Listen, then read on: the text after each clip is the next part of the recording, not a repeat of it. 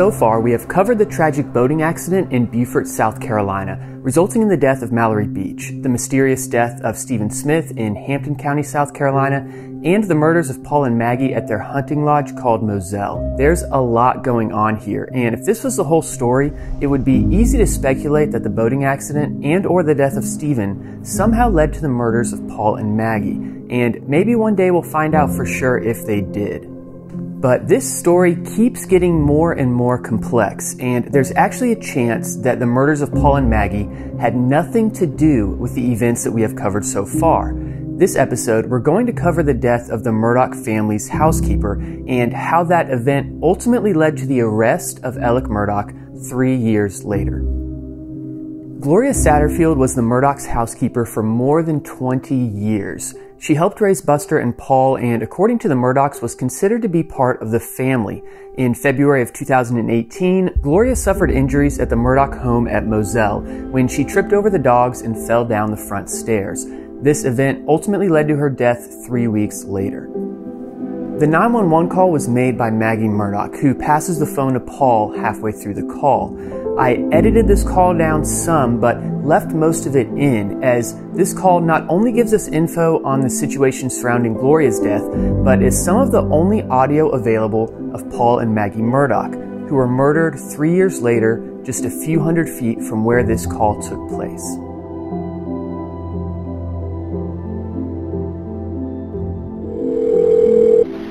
911, where's your emergency? Uh, 4147 Moselle Road. What's going on out there? Uh, my housekeeper has fallen and her head is bleeding. I cannot get her up. How old is she? I'm not sure, like 58 maybe. Do you know if she fell from standing or not? No.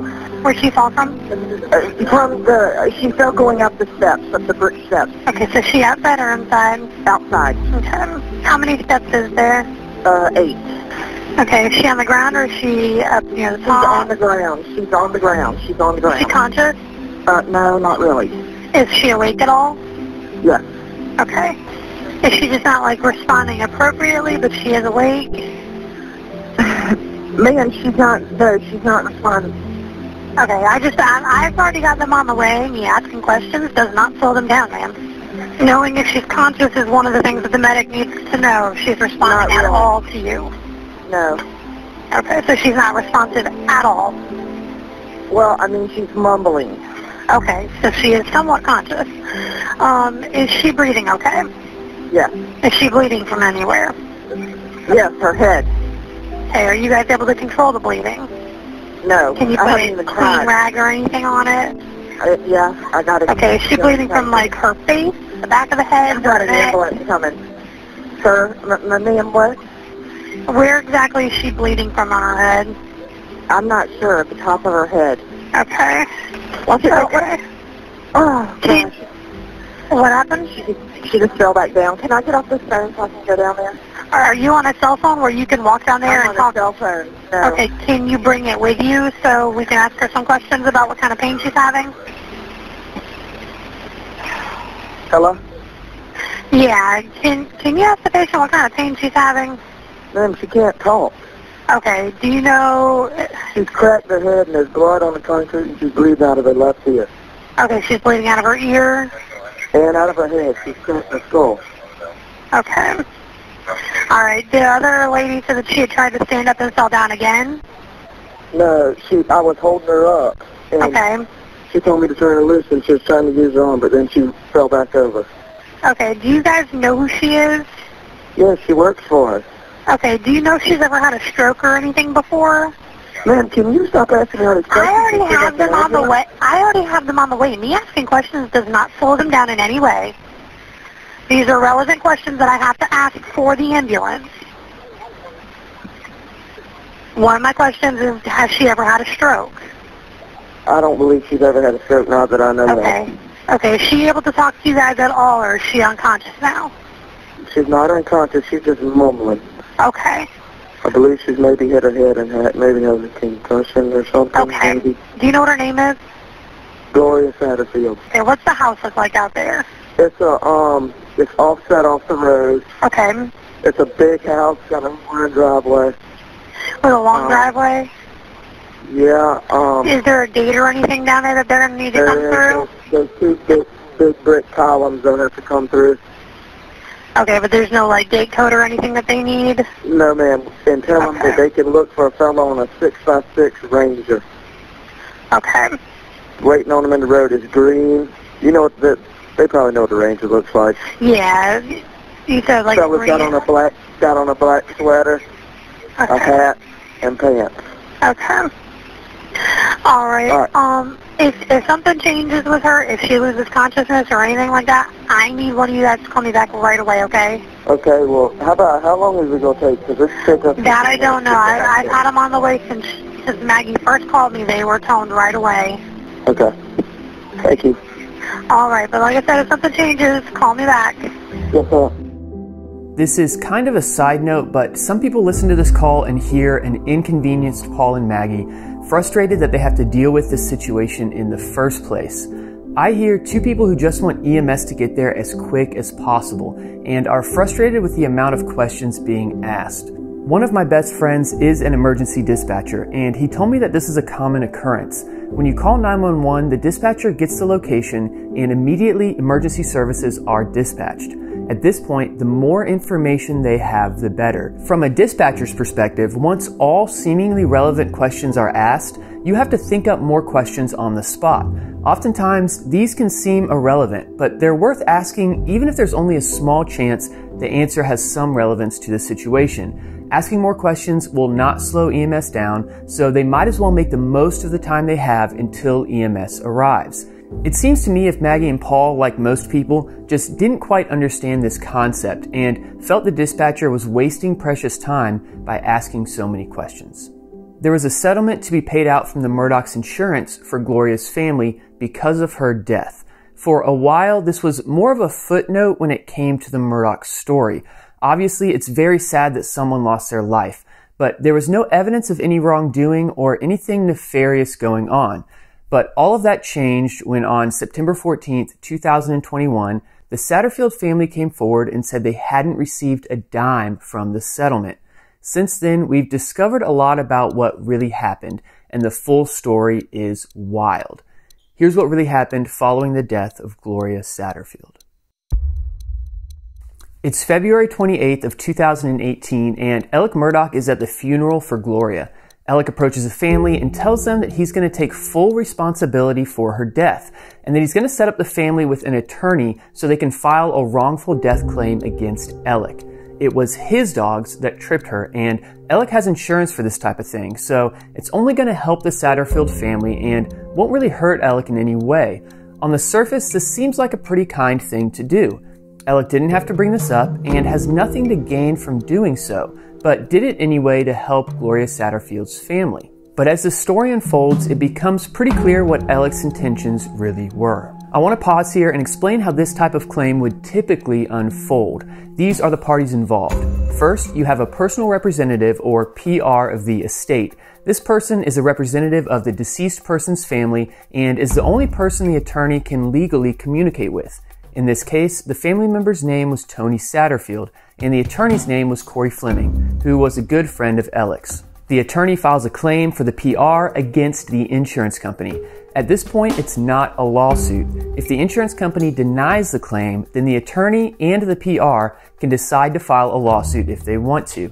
If the insurance company accepts the claim, they write the check to the attorney, who instead of giving one lump sum to the PR, sends the money to a third party company who sets up an annuity, which allows the money to be paid out over time and results in the family receiving significantly more than the original amount, while also avoiding larger tax implications. You can almost think of it as investing the money. The company often used in this area is a company called Forge Consulting. Now, the insurance company is in an interesting place in this particular scenario. They could deny the claim, but their client Alec is 100% admitting fault. So if the claim is denied and a lawsuit is filed, the amount the judge grants could be even higher, especially in the judicial hellhole of Hampton County, where Alec Murdaugh has strong roots. So, what happened? Corey Fleming convinces the family that the best way to move forward is to make someone else the PR. There's going to be a lot of complicated financial decisions to make, and it's better to leave those in the hands of an experienced professional. The family agrees, and Chad Westendorf, the president of Palmetto State Bank, becomes the new PR. At this point, Corey Fleming not only has zero obligation to communicate with the family, but legally isn't even allowed to.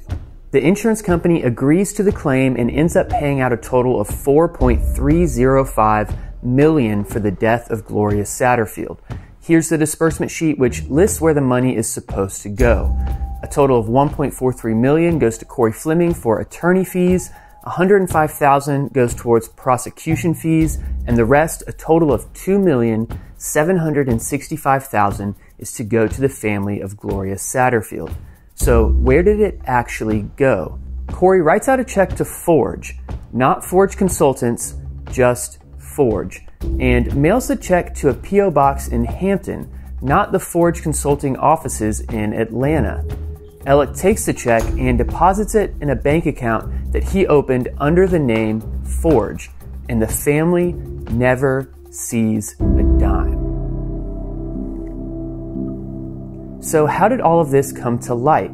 On June 7th, 2021, Paul and Maggie are murdered at Moselle. Three days later, on June 10, 2021, Mandy Matney with FITSNews published an article that detailed a settlement that was approved for the Satterfield family.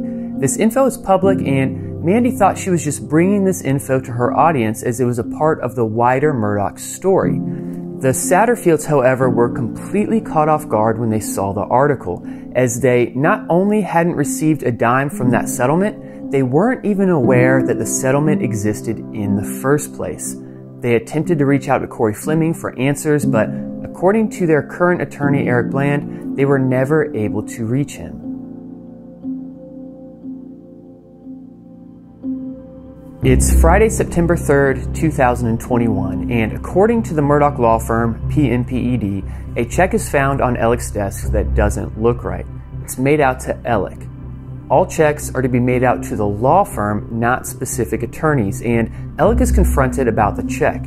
After finding out that millions of dollars in checks had been written out to Ellick, not the law firm, they privately force Ellick to resign. Here's a statement that they later put out.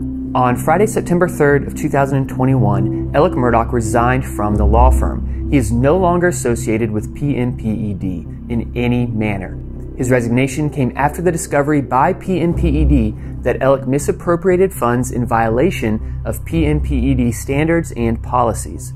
A forensic accounting firm will be retained to conduct a thorough investigation Law enforcement and the South Carolina Bar have been notified by PMPED.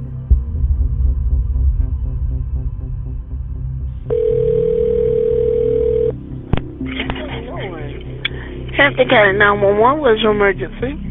On um, Salkehatchie Road. Okay, what's the address on Salkehatchie Road? I'm by the church. Uh, what church are you talking about? Uh, I don't know the name of it with the red roof. Okay, what end of Salkehatchie Road? Because I don't know what you're talking about. Um, at the Hampton County side. Okay, what's going on? I stop. I got a flat tire, Mm-hmm. and I stopped, and somebody stopped to help me. And when I turned my back, they tried to shoot me. Oh, okay. Were you shot? Yes, but I mean I'm okay. You shot where? Where were you shot at? Huh? Did they actually shoot you or they tried to shoot you? They shot me, but Uh, okay, wait. you need EMS? uh, well, I mean, yes, I I can't drive. Okay. Seeing, and I'm bleeding a lot. Where where part of your body? Uh, I'm not sure. Somewhere on my head. Your head? Somewhere on my head. Somebody just stopped for me, ma'am. Um, for 911. Okay. Okay, and what's your name? I'm still here. I'm gonna stay on the line with you. What's your name? Alex Murdaugh. And you see you were driving, you got a flat tire, somebody stopped to help you and they shot you? Well, they pulled over, yes, ma'am, like they were going to help me. And can you give me a description of the person that shot you or shot at you? Yes, ma'am. I mean, it was a a, a white fella. Uh, I'd say A white male? a fair amount younger than me. Uh, really, really short hair. Um, you have an ambulance coming, ma'am? Yes, sir. Yes, sir. I woke up the morning of September 4th, 2021, and put together a 60 second trailer for the first episode of this series. I posted it around 11 a.m. and was excited to see it getting a few hundred views. Just a few hours later, news broke that Alec Murdaugh had been shot in Hampton. I grabbed my drone and drove over immediately. Alec's initial story is that he was tending to a flat tire when two men in a truck passed him, turned around to come back, and shot him. But two days later, he put out this statement The murders of my wife and son have caused an incredibly difficult time in my life. I have made a lot of decisions that I truly regret. I'm resigning from my law firm and entering rehab after a long battle that has been exacerbated by these murders. I am immensely sorry to everyone I've hurt, including my family, friends, and colleagues. I ask for prayers as I rehabilitate myself and my relationships. If Alec's story is true, this is an extremely odd statement to put out. Eight days later, a man named Curtis Eddie Smith is arrested for an assisted suicide attempt on Alec Murdaugh. Curtis Eddie Smith, who goes by Eddie, is a distant cousin of Alec's and had been hired by Alec to do odd jobs over the years. After Eddie's arrest, Alec's story changes. He now claims that he hired Eddie to kill him so that his son Buster would get his $10 million insurance payout. Here's what Alec's attorney said. On that Saturday morning, he was trying to get off the opioids, was in a massive depression, realized that things were going to get very, very, very bad, and he decided to take his life. He believed his $10 million life insurance policy had a suicide exclusion, so he arranged to have this guy shoot him. But here's what Eddie says about what happened that day. It was the craziest situation I ever been involved with. I was set up to be the fall guy. I got a call from Alec that Saturday afternoon to come to where he was, and I thought it was maybe to fix something. I had no idea what he wanted. I just went over there. Eddie says that when he got there, Alec stepped out of his car, waving around a gun like he was going to shoot himself. I run over and we wrestled a minute together, me trying to get the gun away from him. The gun kind of went off above his head, and I got scared to death, and I ran to my truck and took off. Eddie says he wound up with the gun and disposed of it down the road. We don't know the truth about what really happened that day, whether Alec is telling the truth, Eddie is telling the truth, or neither are, and the truth lies outside of both stories. Alec is currently in jail awaiting trial. One thing to note is that Alec's phony forged bank account was opened three years before the death of Gloria Satterfield. This wasn't the first time he had done something like this, and many other instances have been uncovered. Alec Murdaugh has been charged with multiple counts of breach of trust with fraudulent intent, obtaining signatures or property by false pretenses, money laundering, computer crimes, and forgery, totaling 48 charges, all of which are felonies. His bond was set at 7 million, and at the time of recording this, he has not posted bond and is currently in jail awaiting trial. Knowing what we know now, there are still many unanswered questions. Was the Murdaugh law firm, PMPED, really unaware of what Alec was doing? It's possible, but I find it odd that they just happened to find a check on Alec's desk right around the time the Satterfields were asking where their money went. Could they have been trying to get ahead of the scandal by pushing Alec out before the Satterfields came forward publicly? The next question to consider is what really happened to Gloria?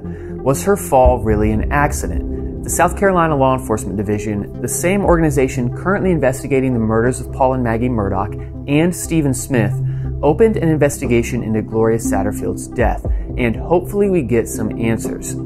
I think Alec is a bad person but I get the feeling that Gloria's death really was an accident and he saw an opportunity to capitalize on it. On that note, though, looking back on the 911 call, there was zero mention of dogs. If the dogs didn't trip Gloria, would Alec's insurance still be responsible for the payout? The last question I have is where did all the money go? SLED has opened an investigation into Alec's financial records, and we have some info on that, but as of now, SLED hasn't released much. So, could the death of Gloria Satterfield or everything that has been uncovered because of it have led to the murder of Paul and Maggie? I absolutely think it could have, and we'll cover that in a later episode when we cover part two of the murders of Paul and Maggie. So far, over $6 million has been recovered by the Satterfield's current attorney, Eric Bland, for the Satterfield family. This money has come from Corey Fleming, Chad Westendorf, and others. But as of the time of recording this, not a dime has come from Alec Murdaugh. It was said by Gloria's friends that she was an extremely hard worker. She was kind, she was genuine, and she was honest. She cared deeply for her family, who doesn't know her as the Murdaugh's housekeeper, but as a loving mother, sister, and friend. In 1956, Randolph Murdaugh Jr., Alec's grandfather, resigned from his position as solicitor when he was indicted by a federal grand jury for playing a part in illegal bootlegging in Hampton County. The charges were dropped and he was reinstated as solicitor. Today, Hampton County is riddled with illegal drugs. It's not hard to imagine an illegal bootlegging organization evolving into drugs over time, and from the beginning, I've had a suspicion that drugs may have played a large part in the murders of Paul and Maggie. In the next episode, we'll dive into the Murdaugh family and drugs. If you've enjoyed this video, I would be honored if you subscribed. To watch early releases of episodes as well as additional content, head to patreon.com slash Eric Alan. Love you guys. See you in episode 7.